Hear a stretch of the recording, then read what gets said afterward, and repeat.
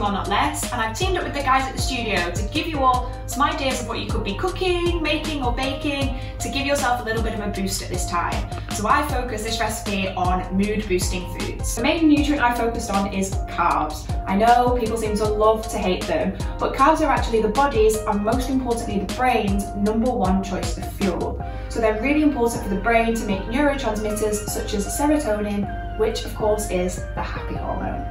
I'm talking good, complex, whole grain carbs, which will give you a good, slow release energy throughout the day, as well as a good source of vitamins, minerals, and fibre. So in this recipe, I've used pearl barley, but you can swap it in for brown rice or quinoa or even spelt if you like. I've also added in a really delicious Brazil nut pesto.